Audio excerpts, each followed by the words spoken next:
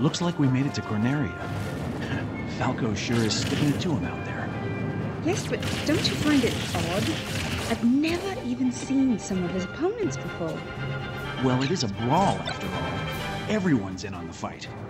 That gets me itching for some action. I want in. No way! Old timers like you ride the fence. This fight's mine. What are you two thinking? I'm the only one who can come through in a fight like this.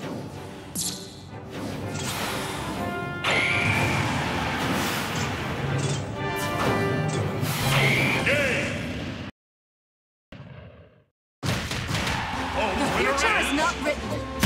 Lucina,